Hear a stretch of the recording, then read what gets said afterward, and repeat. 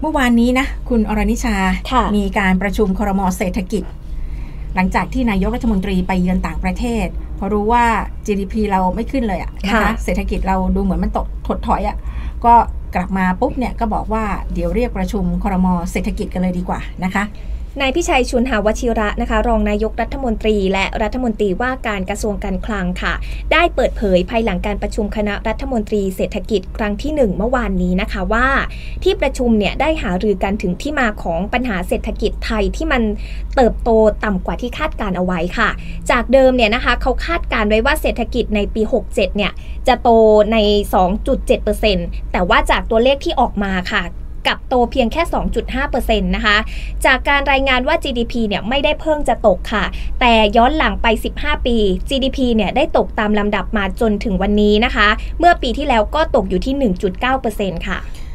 สิ่งเนี้ยมันเป็นสิ่งที่ยืนยันได้เลยนะคะว่าเศรษฐกิจไทยน่าจะมีปัญหาค่ะนะคะแล้วก็เป็นครั้งแรกนะที่รัฐบาลเอง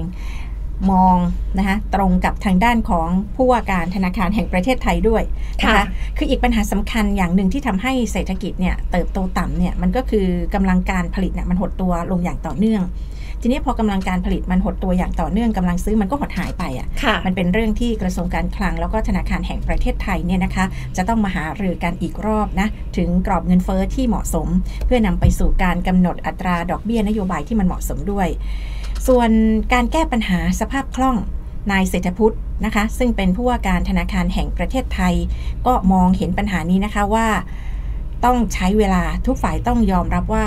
จำเป็นจะต้องมีมาตรการกระตุ้นเศรษฐกิจค่ะนะคะไม่ว่าจะเป็นการตั้งงบประมาณเพิ่มเติม เพื่อใส่ลงไปใน 1.22 แสนล้านบาท